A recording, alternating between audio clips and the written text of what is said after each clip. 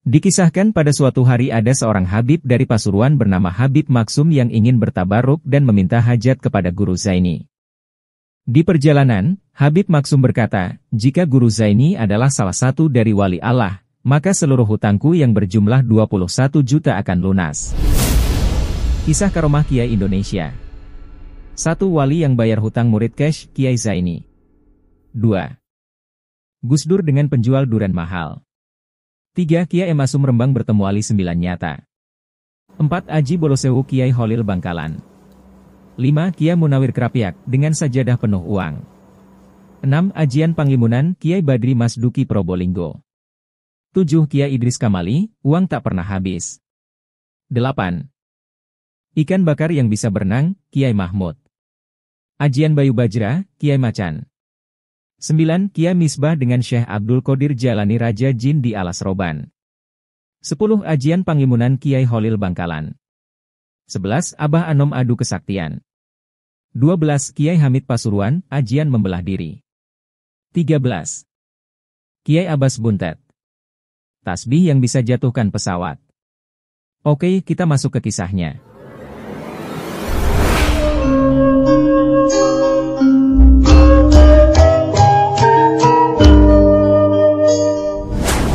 Karomah Abah Guru Sekumpul Abah Guru Sekumpul yang memiliki nama asli Muhammad Zaini bin Abdul Ghani adalah seorang ulama besar, berpengaruh dan karismatik dari tanah Martapura. Saking harismatiknya beliau, hampir semua masyarakat yang ada di Martapura pasti memajang foto beliau di rumahnya masing-masing. Sebagai ulama besar, Guru Sekumpul juga dikenal dengan berbagai kesaktian dan karomahnya. Bahkan karomahnya tersebut ditulis dalam sebuah buku yang berjudul, 100 Karomah dan Kemuliaan Abah Guru Sekumpul. Di antara karomah beliau adalah mengetahui hajat seseorang yang mendatanginya sebelum orang tersebut menyampaikan maksud kedatangannya. Dikisahkan pada suatu hari ada seorang Habib dari Pasuruan bernama Habib Maksum yang ingin bertabaruk dan meminta hajat kepada Guru Zaini. Di perjalanan, Habib Maksum berkata, jika Guru Zaini adalah salah satu dari wali Allah, maka seluruh hutangku yang berjumlah 21 juta akan lunas. Singkat cerita sampailah Sang Habib di tempat tinggal Guru Zaini, beliau menyambut Sang Habib dengan ramah dan dengan penuh penghormatan. Dipersilahkanlah bagi Habib untuk berduduk bersama Guru Zaini. Mereka berdua saling bercakap-cakap mengenai berbagai hal. Nah, tiba-tiba saat mereka masih mengobrol datanglah seseorang dari luar yang memberikan uang cek kepada Abah Sekumpul. Tanpa basa-basi Abah Sekumpul langsung memberikan cek tersebut kepada Habib Maksum tanpa melihat terlebih dahulu berapa jumlah uang yang ada di cek tersebut. Kemudian Abah Sekumpul berkata, ini untuk melunasi hutang Habib. Betapa terkejut sang Habib dengan peristiwa ini. Karena ternyata jumlah uang yang terdapat di cek tersebut adalah 21 juta, persis dengan jumlah hutang sang Habib. Padahal sejatinya sang Habib belum menyampaikan hajatnya terlebih dahulu, tapi Abah Zaini sudah memberikan apa yang dia harapkan sebelumnya. Karomah Kiai Hamid Pasuruan Kiai Hamid adalah seorang ulama besar asal Pasuruan yang sangat dikenal dengan kealiman ilmunya, keluhuran akhlaknya, serta kemasyuran akan keistimewaan dan karomahnya. Disebutkan dari berbagai sumber, bahwa beliau sejak berusia sangat belia telah menampakkan ciri-ciri kewalian dan keagungannya. Konon, ketika menginjak usia enam tahun beliau pernah bertemu dengan Rasulullah. Dalam kepercayaan yang berkembang dalam kalangan sufi.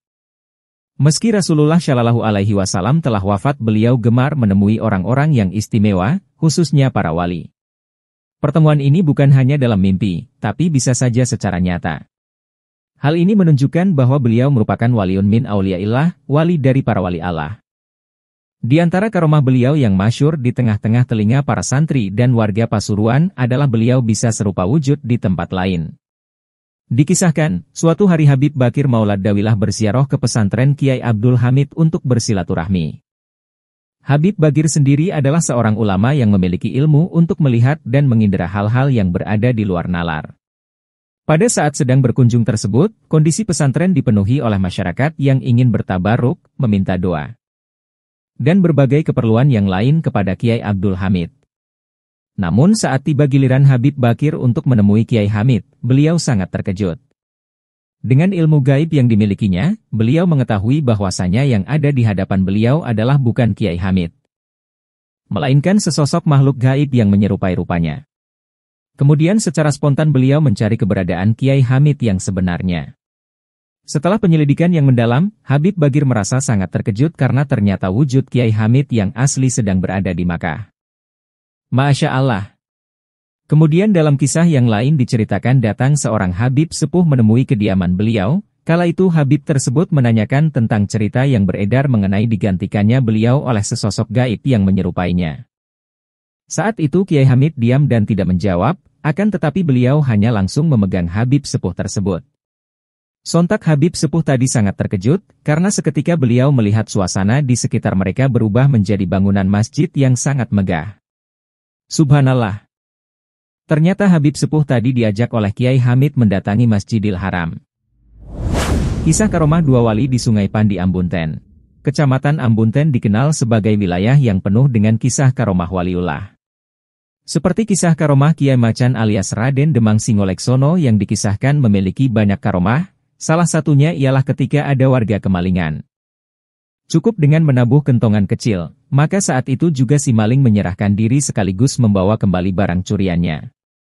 Kia Macan juga dikenal dengan karomahnya yang menaiki pesapean papa, pelepah pisang yang biasa dibuat sapi-sapian oleh anak kecil. Sembari terbang saat mengambil panji-panji keraton Sumenep yang dibawa ke Belembangan. Pulangnya beliau naik mondung, hiu, seorang diri, kata Nyai Hajah Munifah, salah satu keturunan Kiai Macan di desa Ambunten Timur, pada media center.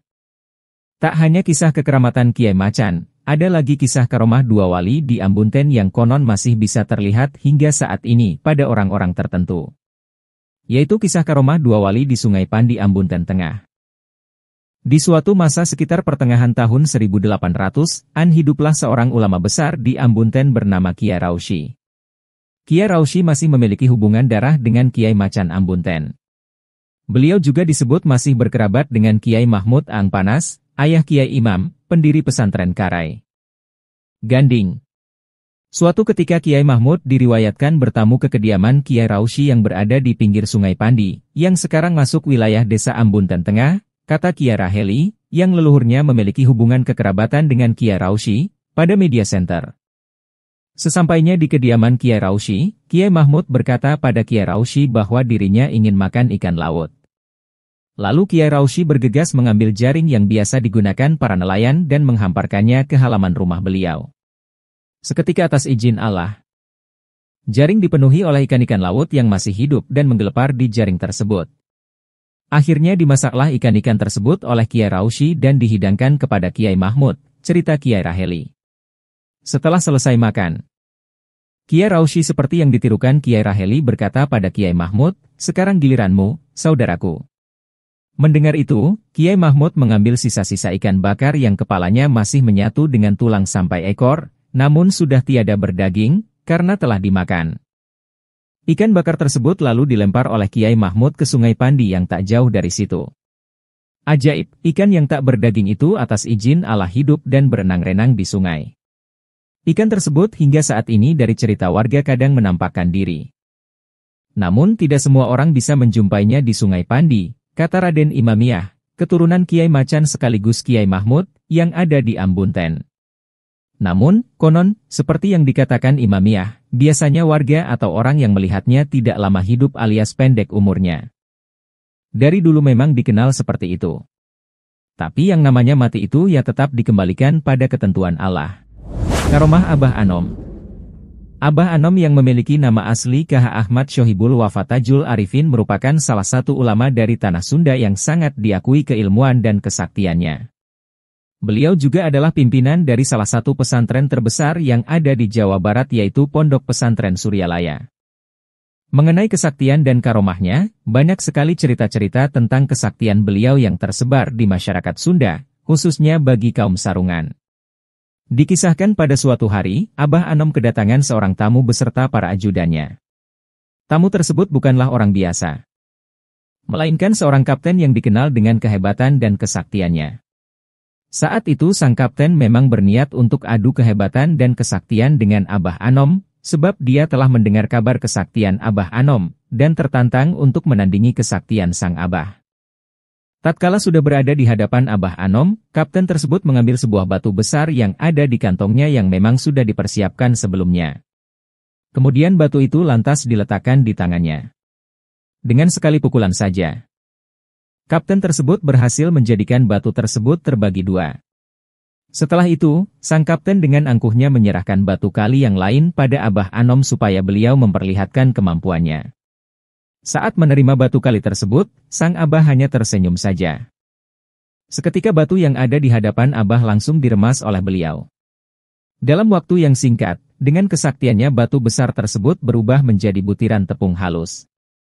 Tentu saja melihat peristiwa ini, kapten yang sombong tersebut merasa kaget dan seolah tak percaya. Tak lama berselang sang abah meminta kepada santrinya untuk diambilkan segelas air yang di dalamnya terdapat seekor ikan. Kemudian gelas berisi ikan itu diberikan Abah kepada si kapten. Masih dengan wajah yang akung, si kapten langsung bergaya bak orang yang memancing. Tak berlangsung lama ikan yang ada di dalam gelas benar-benar terpancing dengan gaya si kapten. Atas hal ini si kapten tersebut semakin menyombongkan dirinya. Berikutnya giliran Abah Anon yang beraksi. Dengan santainya beliau hanya memberi isyarat dengan jari telunjuknya. Namun tiba-tiba saja ikan yang ada di dalam gelas tersebut keluar dari dalam gelas dan langsung menempel dengan jari telunjuknya, seolah-olah jari telunjuk beliau adalah kail untuk memancing. Setelah peristiwa ini, si kapten yang sombong tersebut merasa malu dan mengakui kekalahannya. Selain itu kapten tersebut akhirnya bertaubat dan menjadi santri di pesantren milik Abah Anop. Karomah Kiai Misbah Zainul Mustafa, Al-Maghfurlah Kiai Misbah. Dikenal sebagai ulama yang menulis sejumlah kitab. Di balik itu, ada kisah menarik akan sosok Paman Gusmus ini. Berikut kisah tentang Kiai Misbah Zainul Mustafa, ulama yang semasa berjuang dalam Islam tinggal di Tuban, Jawa Timur. Satu catatan Ulil Absar Abdallah dari Makkah saat menunaikan ibadah umrah, pekan ini. Salah satu, cerita menarik yang dikisahkan oleh Gusmus tentang pamannya, yaitu Kiai Misbah Zainul Mustafa, adik kandung Kiai Bisri Mustafa, adalah berikut ini. Gusmus mengisahkan cerita ini saat sarapan di Hotel Al-Shalihiyah yang terletak di seberang Masjid Nabawi di Madinah beberapa waktu lalu. Cerita ini hanya sebagian saja dari banyak kisah tentang Kiai Misbah yang diceritakan oleh Gusmus. Semuanya menarik dan jenaka. Dari luar. Kata Gusmus mengutip kata seorang kiai dari Meranggen, Demak, Pak Bah, panggilan beliau untuk pamannya itu, memang tampak, galak, dan keras, tetapi beliau sebetulnya memiliki hati selembut sutera.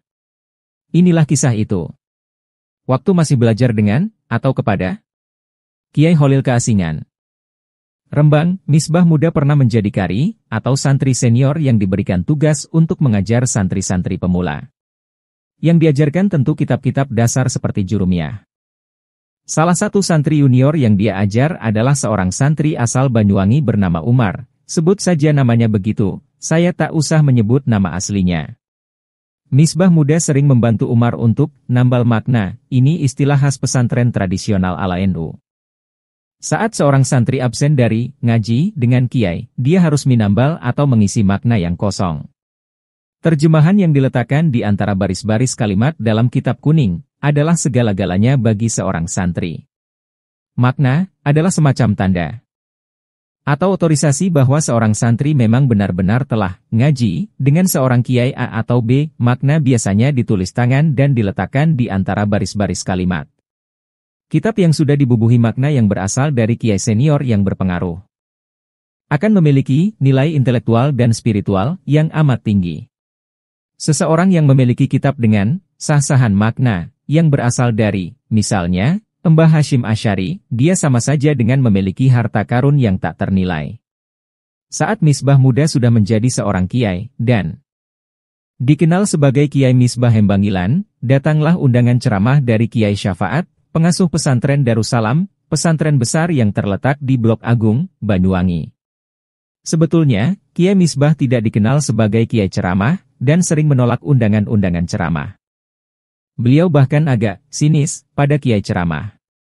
Tetapi undangan ceramah yang satu ini beliau kabulkan karena berasal dari Banyuwangi.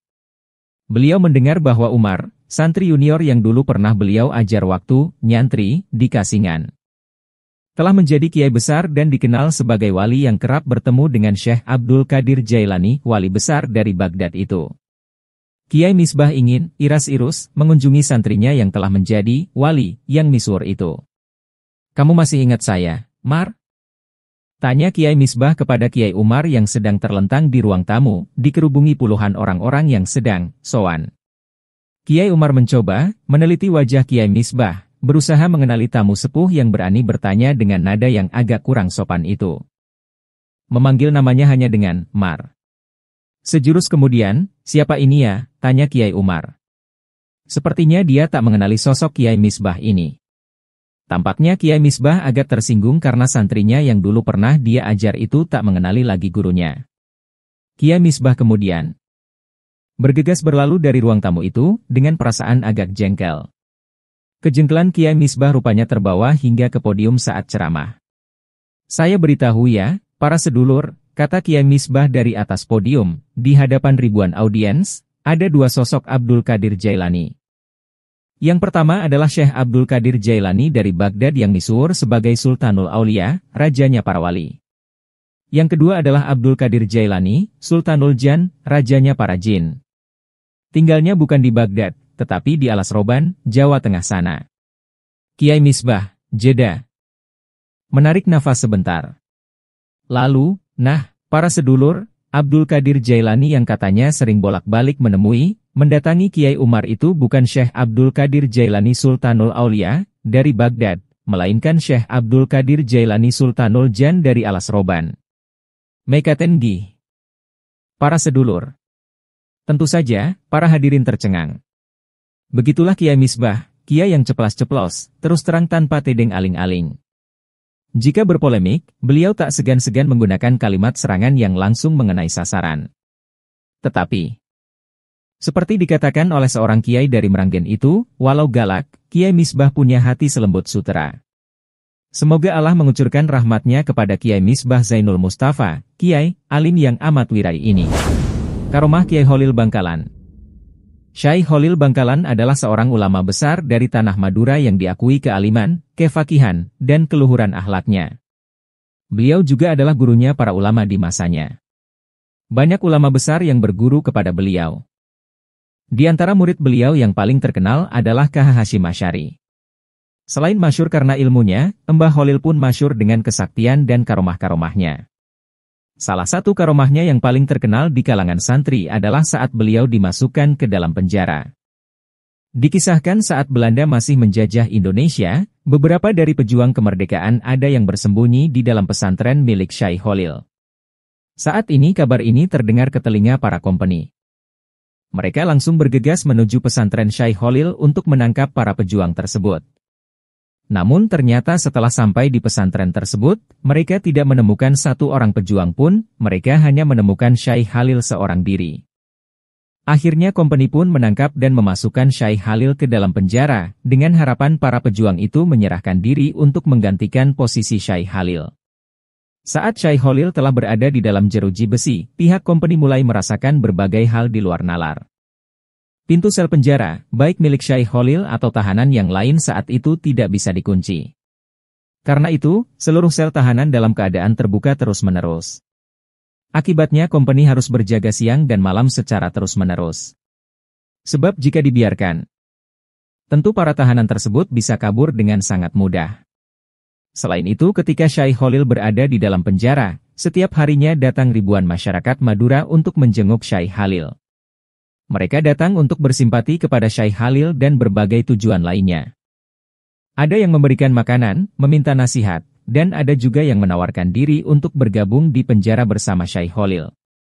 Melihat gelombang masa yang semakin besar tiap harinya serta pintu sel yang tak bisa ditutup, maka Belanda pun pusing tujuh keliling memikirkan hal ini.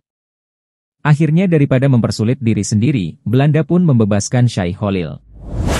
Karomah Kiai Abbas Buntet Kiai Abbas Buntet merupakan seorang ulama besar asal Cirebon yang masyur dengan keterampilan pencaksilat yang sangat mumpuni serta masyur juga dengan kesaktiannya.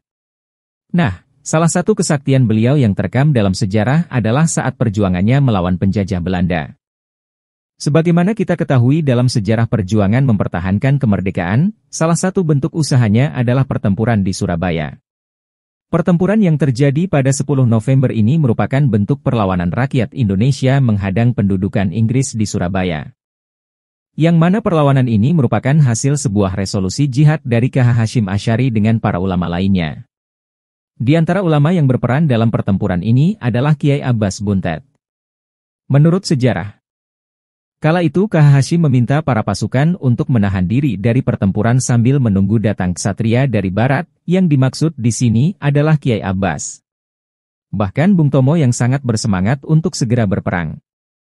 Selalu ditahan-tahan oleh KH Hashim hingga datang Kiai Abbas ke Surabaya. Singkat cerita Kiai Abbas datang dari Cirebon bersama pasukan santrinya yang telah siap untuk bertempur melawan penjajah Inggris. Pada saat itu beliau berperang menggunakan bakiak. Yang mana hal ini merupakan suatu hal yang tak lazim. Diceritakan oleh para santrinya, saat perang sedang berkecamuk Kiai Abbas berdoa kepada Allah, dan tiba-tiba dengan sendirinya sejumlah alu dan lesung milik masyarakat yang berukuran besar. Berterbangan ke atas dan menimpa serta meluluh lantakan tentara sekutu. Bahkan yang lebih hebatnya lagi, pesawat terbang pun dapat beliau jatuhkan hanya cukup dengan lemparan tasbih. Kemudian menurut informasi dari santrinya yang lain, bahwa saat pertempuran sedang mencapai titik klimaksnya Kiai Abbas dengan karomahnya bukan hanya berada di satu tempat, melainkan di dua tempat yang berbeda. Yaitu tepatnya di pusat kota dan di daerah pesisir pantai Surabaya. Nah, di pantai itulah Kiai Abbas dengan hanya mengibaskan sorbannya ke atas langit dapat menghancurkan puluhan pesawat sekutu dengan sangat mudah. Kiai Haji M. Asum Lasem merupakan seorang kiai yang penuh dengan karomah. Dikisahkan suatu ketika di Bangkalan Madura, Kiai Holil mengatakan kepada santrinya, Tolong buatkan aku kurungan ayam jago, sebab besok akan ada jagoan dari tanah Jawa yang datang ke sini. Kemudian esok harinya, datanglah seorang pemuda bernama Muhammadun, nama almarhum Mbah M. Asum di kala muda, dari tanah Jawa. Oleh Kiai Holil Bangkalan, pemuda itu kemudian diminta masuk ke dalam kurungan ayam jago tersebut dengan penuh pasrah dan ketundukan terhadap perintah gurunya. Pemuda itu pun masuk dan duduk berjongkok ke dalam kurungan ayam jago tadi. Kiai Holil kemudian berkata kepada segenap santri beliau, inilah yang kumaksudkan sebagai ayam jago, yang kelak akan menjadi jagoan tanah Jawa. Kisah tersebut dikutip dari sinopsis buku Manakib Mbah M. Asyum Lasem. Mbah M. Asum diperkirakan lahir pada tahun 1868. Beliau adalah anak bungsu pasangan Ahmad dan Kosimah. Oleh orang tuanya ia kemudian diserahkan kepada Kiai Nawawi, Jepara, untuk mempelajari ilmu agama. Karena sejak kecil dia telah ditinggal wafat oleh ibunya. Dari Kiai Nawawi dia mendapat pelajaran dasar ilmu alat, Nahu, yang diambil dari kitab Jurumiyah dan Imriti. Suatu saat, di Semarang, beliau tertidur dan bermimpi bertemu Nabi Muhammad Shallallahu Alaihi Wasallam. Ketika di Bojonegoro, Beliau tidak hanya bermimpi, melainkan antara tertidur dan terjaga. Mbah M. Asum bertemu dengan Nabi, yang memberikan ungkapan Lahaya Ilya Finashir al-Ilmi, yang artinya, tidak ada kebaikan yang lebih utama daripada menyebarkan ilmu. Bahkan, ketika berada di rumahnya sendiri. Mbah M. Asum bermimpi kembali. Dalam mimpinya, ia bersalaman dengan Nabi Muhammad Shallallahu Alaihi Wasallam yang berpesan, mengajarlah, Segala kebutuhanmu insya Allah akan dipenuhi semuanya oleh Allah. Akhirnya di kemudian hari, Mbah Kiai M. Asum Lasem menjadi ulama besar dengan banyak santri dan dikenal memiliki banyak karomah. Ini salah satu kisah karomahnya. Suatu hari, datang sembilan orang tamu ke Lasem. Mereka ingin berjumpa dengan Mbah M. Asum. Namun, karena tuan rumah sedang tidur, Ahmad, seorang santrinya, menawarkan apa perlu Mbah M. Asum dibangunkan. Ternyata para tamu itu menolak. Lalu mereka semua, yang tadinya sudah duduk melingkar di ruang tamu, berdiri sambil membaca syalawat, kemudian berpamitan. Apa perlu Mbah Emasum dibangunkan? Tanya Ahmad sekali lagi. Tidak usah. Ujar mereka serempak kemudian pergi. Rupanya saat itu Mbah M. Asum mendengar dan bertanya kepada Ahmad perihal apa yang baru saja terjadi. Setelah mendapat penjelasan, Mbah M. Asum lekas meminta kepada Ahmad agar mengejar tamu-tamunya. Tapi apa daya? Mereka sudah menghilang, padahal harusnya mereka diperkirakan baru berjalan sekitar 50 meter dari rumah Mbah M. Asum. Ketika Ahmad akan melaporkan hal tersebut, Mbah M. Asum, yang sudah bangun tapi masih dalam posisi tiduran, mengatakan bahwa tamu-tamunya itu adalah Wali Songo dan yang berbicara tadi adalah Sunan Ampel. Setelah mengucapkan kalimat tersebut, Mbah M. Asum tertidur pulas lagi. Gus Dur dan penjual duren mahal Kisah berikut ini tentang penghargaan Gus Dur pada kemanusiaan dan kecintaan yang mendalam pada rakyat kecil yang membutuhkan. Rakyat kecil yang terabaikan dan tak mendapat perhatian cukup dari negara. Dalam situasi semacam ini Gus Dur sering kali hadir mengirimkan bantuan. Suatu ketika, Gus Dur mendapat undangan sebuah acara di kota Malang. Ia mampir dulu ke kota Batu. Di tengah perjalanan, ia minta berhenti ketika terdapat seorang penjual durian, membeli dua buah, tetapi anehnya, sang pedagang diberinya uang segepok. Yudi. Sang sopir yang menemani Gus Dur keheranan, beli dua durian saja kok uangnya banyak banget. Biasanya kalau orang beli sesuatu, ditawar-tawar dahulu sampai dapat harga yang cocok. Ini tanpa babe ibu, langsung dikasih uang banyak. Meskipun demikian, ia tak berani berkomentar apa-apa dan mengikuti perintah Gus Dur untuk melanjutkan perjalanan ketika uang sudah diserahkan. Namun rasa penasarannya tak hilang atas kejadian tersebut. Pertanyaan kenapa penjual durian dikasih uang yang sangat banyak selalu muncul dalam hati. Beberapa hari kemudian Yudi kembali mendatangi penjual durian tersebut untuk mencari informasi lebih lanjut. Tapi ternyata kedai durian tutup. Ia pun tambah penasaran, setelah tanya kiri kanan, akhirnya didapatlah alamat rumah penjual durian tersebut.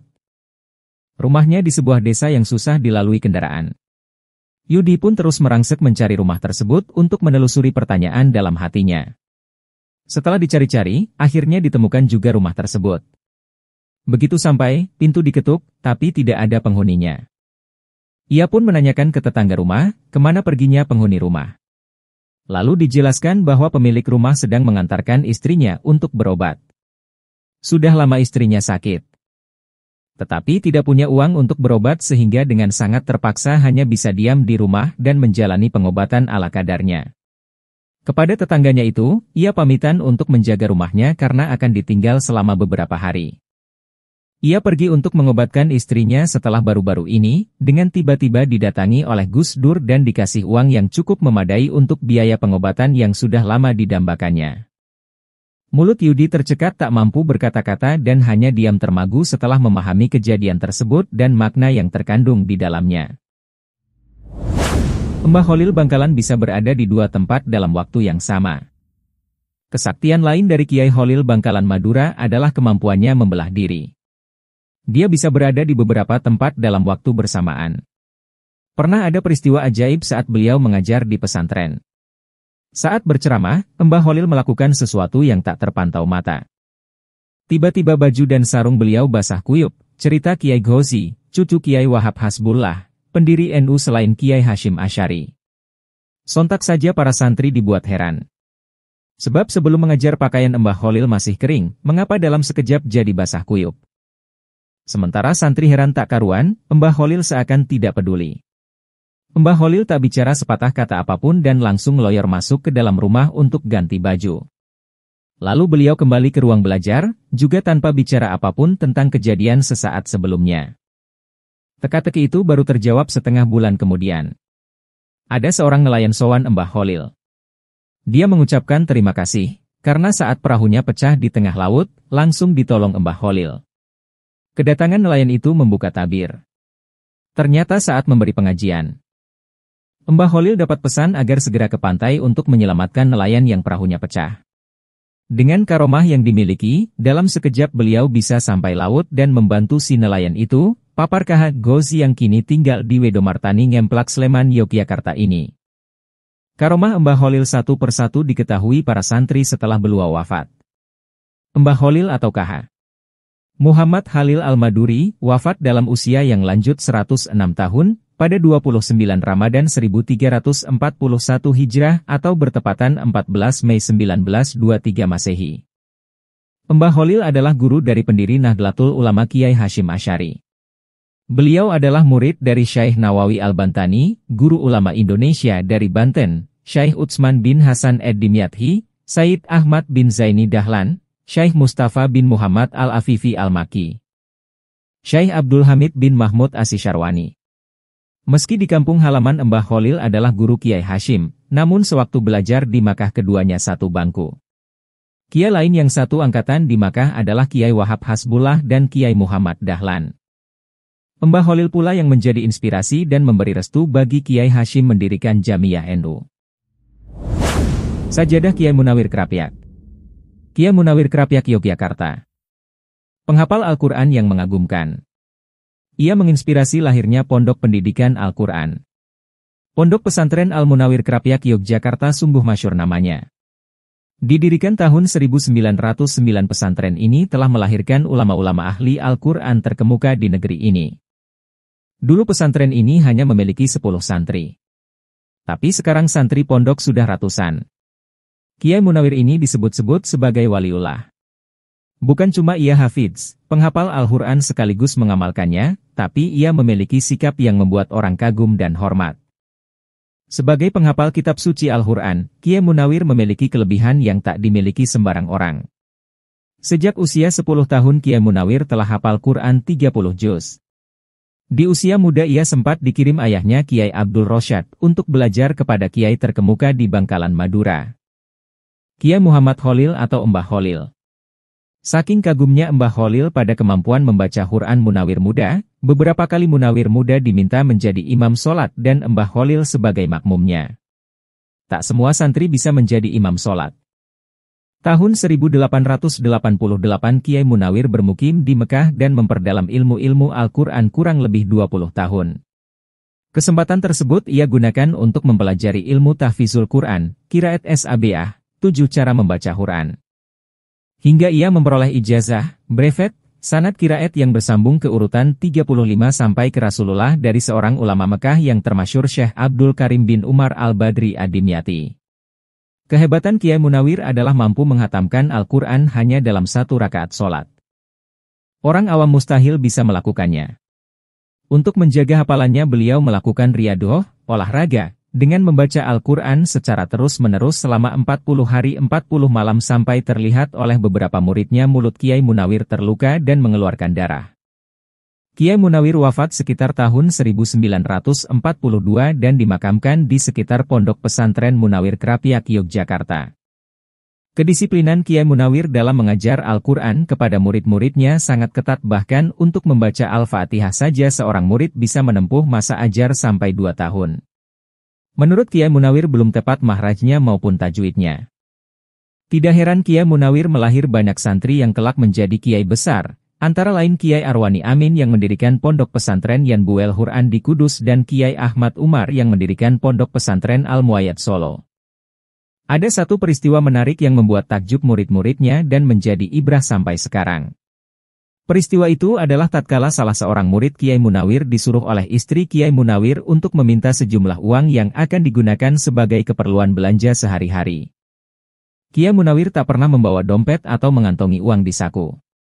Tapi setiap ada yang minta uang ia hanya merogoh sejadahnya untuk mengambil uang. Semua murid juga tahu sajadah Kiai Munawir bukanlah seperti film kartun Doraemon yang bisa mengambil apa saja. Kia Munawir sehari-hari waktunya dihabiskan duduk di serambi masjid sambil mengajar Al-Quran. Tapi kedekatannya pada Allah membuat semua permintaannya dikabulkan. Kiai Badri Masduki Probolinggo Kiai Badri Masduki sosok kiai kontroversial tapi memiliki banyak karomah. Kiai Badri Masduki adalah kiai yang disegani. Bukan hanya karena ilmu agama yang ia kuasai sedemikian tinggi tapi juga karena beliau punya pendirian yang tegas, meski itu sering kontroversial. Kiai Badri memimpin pondok pesantren Badri Juda, Probolinggo. Saking teguhnya dalam pendiriannya, sering merepotkan kiai-kiai di kalangan Nahdlatul Ulama lainnya. Satu waktu Gus Dur pernah cerita ke santrinya, bagaimana Kiai Badri orang yang tegas. Dalam satu acara Batsul Masail, forum ulama untuk merumuskan satu masalah yang diperdebatkan, Kiai Badri ngotot pada pendiriannya, padahal Kiai lainnya sudah setuju. Tiba-tiba di tengah ketegangan itu Kiai Badri berdiri dari tempat duduknya sambil berujar. Kalau begini caranya saya keluar, kata Kiai Badri. Ruang rapat hening. Hanya Gus Dur yang memimpin rapat nyeletuk, mau ke mana Pak Kiai? Jangan pulang dulu kita telah dulu pendapat sampean. Rupanya Kiai Badri langsung menoleh dengan mimik serius, siapa yang mau pulang? Saya mau ke toilet. Sontak saja semua peserta rapat tertawa. Kiai Badri adalah Kiai ikut memobilisasi tanda tangan Kiai di Jawa Timur untuk mendukung kembali Soeharto sebagai Presiden ke-6 dalam sidang umum MPR untuk periode pemerintahan 1993 hingga 1998. Kiai Badri memang penyokong PPP. Ada satu peristiwa yang menggambarkan bagaimana sikap keras Kiai Badri. Dalam sebuah forum komunikasi ulama Sunni, Fokus, Jawa Timur, 31 Juli 1996 para kiai dikumpulkan Gubernur Jawa Timur Basofi Sudirman dan Pangdam Febrawijaya, Imam Utomo. Para kiai itu rencananya akan diminta untuk membuat kebulatan tekad, metode mobilisasi opini khas Orde Baru, untuk menyatakan bahwa kerusuhan 27 Juli 1996 yang terjadi di Jakarta adalah didalangi oleh PKI Gaya Baru yang bernama Partai Rakyat Demokratik, PRD. Kia Badri termasuk yang termakan provokasi pemerintah dan ABRI. Kia Badri bahkan setuju bahwa kerusuhan yang terjadi itu oleh PRD. Kami mengutuk seluruh gerakan partai tersebut dan mendukung sepenuhnya tindakan tegas pemerintah, sehingga semuanya dapat terkendali. Setuju. Teriak Badri kepada hadirin. Sebagian peserta silaturahmi menyatakan setuju, sebagian lain cuma diam. Termasuk di antaranya yang tak setuju adalah Kiai Yusuf Muhammad Al-Makfiroh. Kiai Yusuf adalah Hawan Syuriah, pembantu Dewan Ulama, pengurus besar Nahdlatul Ulama, PBNU, yang masih keluarga almarhum Rais AMNU, KH Ahmad Siddiq. Kiai Yusuf Muhammad juga dikenal sebagai tokoh teras Rabithah Al-Ma'ahid Al-Islamiyah, Perhimpunan Pesantren NU. Ketika Gus Dur mendirikan PKB, Kiai Yusuf adalah salah satu anggota DPR RI. Beliau wafat saat terjadi kecelakaan tergelincirnya pesawat Lion Air di Solo, 30 November 2004, di sela-sela Muktamar NU. Kia Yusuf protes karena kesimpulan silaturahmi sudah diatur sedemikian rupa. Harus ada tim kecil untuk merumuskan kembali.